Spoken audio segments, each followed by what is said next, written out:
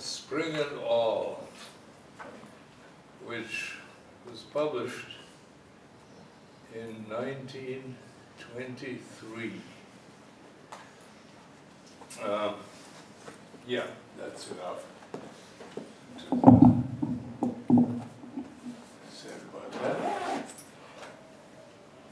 The rose is obsolete, but each petal ends in an edge, the double facet cementing the grooved columns of air. The edge cuts without cutting, meets nothing, itself in metal or porcelain. Whither? It ends. But if it ends, the start is begun. That, so that to engage roses becomes a geometry.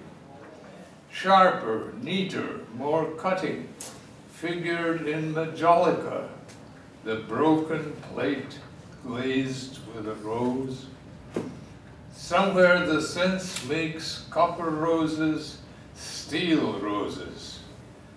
The rose carried weight of love, but love is at an end of roses.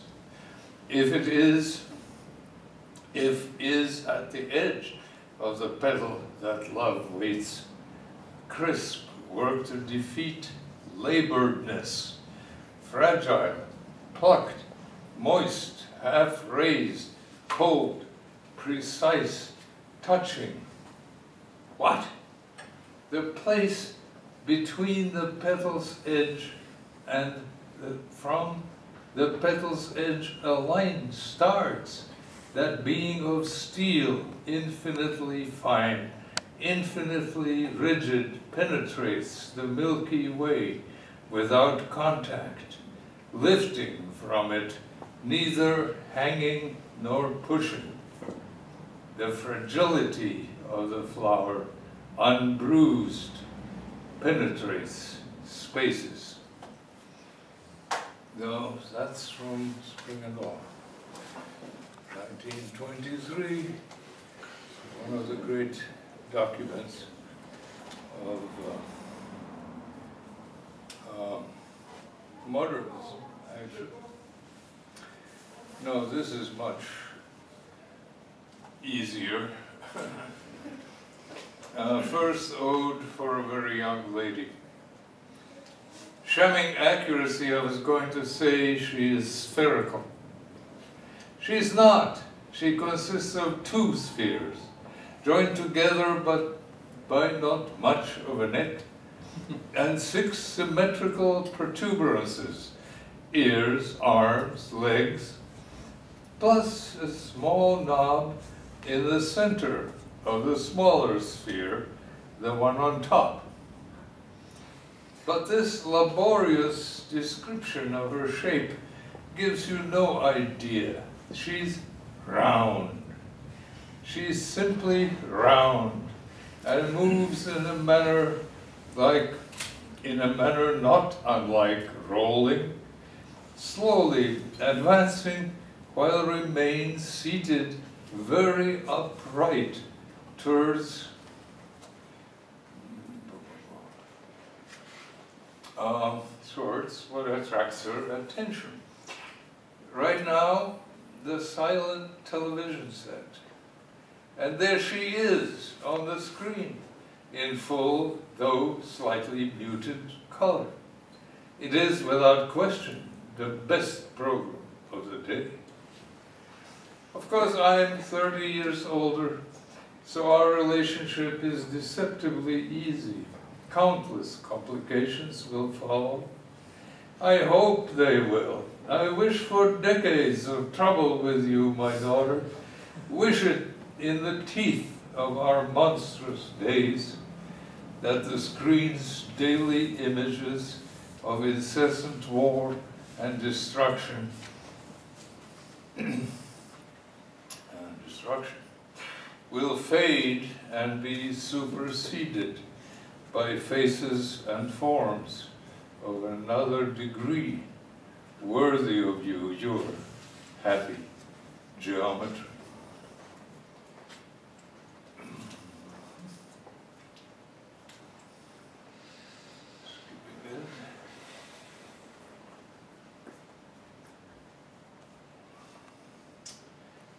Who wrote this? These are early poems. Who wrote this? And it has an epigraph by uh, a famous, recently deceased um, sculptor. Being a poet these days is a little like playing the harmonica. when we were little poets, we told ourselves, one day we'll have a big book just like the big poets. and now we have big books. But are we big poets now? Don't make me laugh, ha ha. Though even Charles Olson has not been the same since the academics ate him. Oh, I do not wish to remember, have trouble recalling, find it hard to believe. What a day it was, flags were flying, bands were playing, and all the lovely ladies had flowers in their hair. And that was first written by Munro Leaf, author of Ferdinand the Bull. Pygmy hut. Heavy drops fell from the trees and made a plopping sound as they hit the poodles. Shouldn't that be puddles? No, not puddles, poodles. Heavy drops fell from the trees and made a plopping sound as they hit the poodles. That's an instance of uh, creative, possibly creative mistakes. um, let's see here.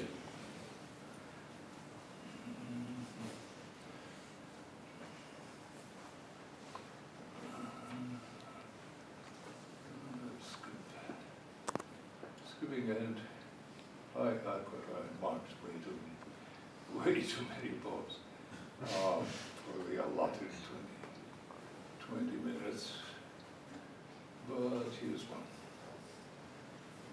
Well, I guess dying will be just one of those not a whole lot of fun things to do. but autumn is when I would like to come back if I could, to watch the stars come out and Ralhar, my loves, with all of you.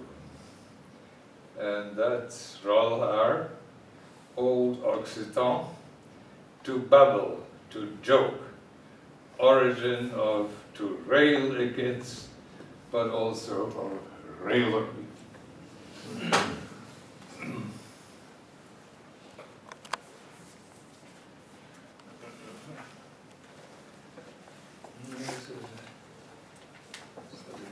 Uh, it's called the Empress Hotel Poems. One, just get up and sit down again. Then you can watch the dust settle. Or wait for the Irishman to come round, knock on your door again. Twice he's asked me first the time, and then, would you know of any place I could get a job, sir? Laboring, that is. They won't take him he looks too purgatorial. Eight days over from here, here where they have strikes. to typewriter banging, better than radio for company. Sheets of translation pile up, too many words, Too many other men's words bang through my head. Why don't they learn English in Finland? Why don't they learn Finnish, Swedish, German in England, old and new? They just being kind to you, Anselm. They don't learn, you earn. the old housekeeper three, the old housekeeper lady downstairs likes the stamps. She says, could you let me have them if you're going to throw them away anyway? Mr. Burroughs, she says, always did that. He always gave me the stamps. He got a lot of mail too. I give them to her. We are Burroughs, Hollo, Saarikoski, Ball. We are Mrs. Hardy's nice writing gentlemen. Four, white smoke from Battersea Power Station. Rises, moon, star, London city light. Beam from the airport sweeps the sky. I switch the room light on and off and on. Light dark, light dark. It occurs to me I'm trying to tell you what's going, what goes on inside me. Out there, they'll suspect a Chinese spy. Ha! Battersea beast on its back, pushing vapor puffs through the soles of its feet. For fun, five. Um, what do I say for fun? Five. Go through my things, God knows what you'll find when I'm not here. I'm not here in this poem, I'm in another room writing praises of their loveliness and terror, the ones that dance through my mind, not endlessly, but to be one, and one with them I want to be. I want to be one. I want her to be one when the voice begins. She is and she dances. I am the voice. I praise. There is no mind.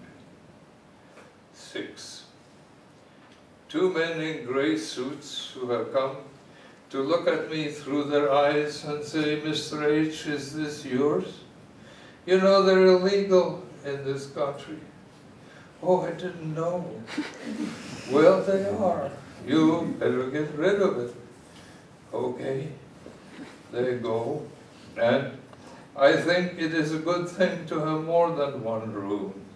What would they say if they found what I had in the other poem.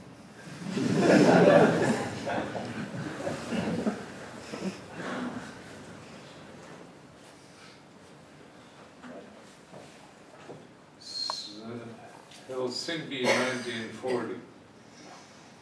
Exploding, shattering, burning, big lights in the sky. And this was Heaven's Gate? No, no, it's just the front door. Same old front door, you know, from the daytime. And we're just waiting for a lull in the action to cross the yard, get down to the shelter and meet the folks, all the other folks from all the other apartments. And there was a young woman, at least 10 years older, he thought very beautiful blankets and wooden beams and crackling radios and chatter. It was better than heaven. It was being safe in the earth, surrounded by many, all of whom really felt like living. And this one is for Tom. Uh, is it well?